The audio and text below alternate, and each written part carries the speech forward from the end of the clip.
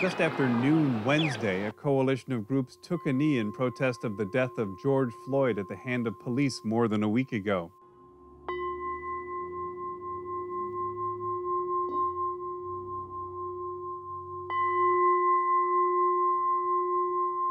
They kneeled through nine bells, one bell for each minute that Floyd was held on the ground by police. They included Latoya Emanuel, who has lived in Escondido for most of her life. I actually first saw it on Facebook, and I've cried since. Like, I'm still waking up out of my sleep crying about it. And it just, it shouldn't have happened.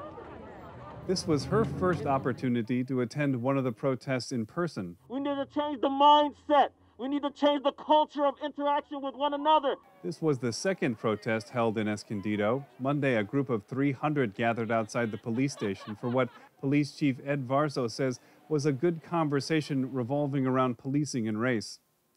Wednesday, the chief kneeled with the rest of the crowd. We have a similar policy, but not in the. We would never put our leg on somebody's neck and hold them down. That is outside of our policy.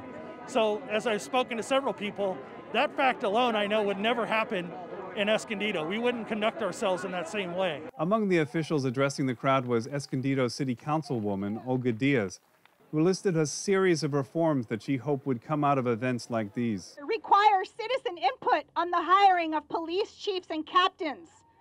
This is not an inside job. This is a community response job, and the community should have some say in that interview process. Organizers then asked the crowd to write down what they would like to see and place it on post it notes, which they put on the doors to City Hall. Steve Walsh, KPBS News.